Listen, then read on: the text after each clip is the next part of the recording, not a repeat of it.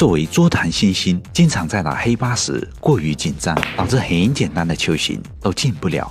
那么可以找对手借两部手机，然后把手机安上啊不安放在袋口，这样打球就很准了。复科了，而且对手非常希望你赢。技巧二：黑八的进球路线被障碍球挡住了。用扎杆勾球的话，对初学者来讲难度较高。那么可以瞄准黑八薄边，小力一推，然后闪现补一刀啊，球就进了。有手之前非常好用。技巧三：黑八又被障碍球挡住了。像这么打的话，对初学者来讲难度较高。那么可以加个意大利炮啊，再测量一下距离，我的眼睛就是尺，然后只要小力一推，啊，球就进了。